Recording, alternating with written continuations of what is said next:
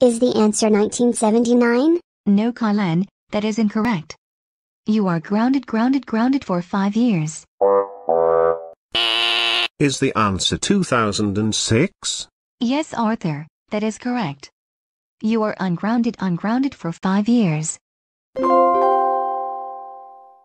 Hey, how dare you revert my score? Change it back to 3600 years right now. Arthur, I just said it was a mistake. Now don't start arguing with me or else you'll get penalty. Anyways, let's move on to the final question.